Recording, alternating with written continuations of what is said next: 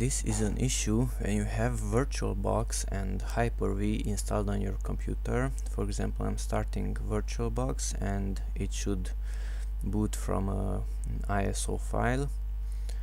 But if we go to settings, control panel and uninstall a program, here in the left turn Windows features on and off we can see that also Hyper-V is installed, it's checked.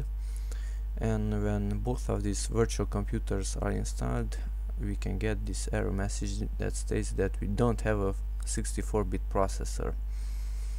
Okay so that's not true but let's uncheck Hyper-V and this will remove Hyper-V from the computer. Let's power off VirtualBox also. Okay and after restarting the computer virtual the virtual computer Hyper-V is uh, removed and VirtualBox if it started this time it should work just fine. Let's check in settings control panel uninstall a program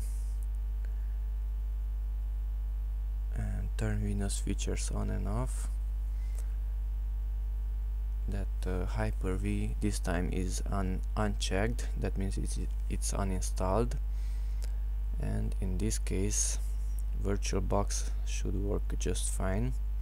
And here it is the window appears and uh, Windows can be installed. Okay that's it. Thank you. Bye bye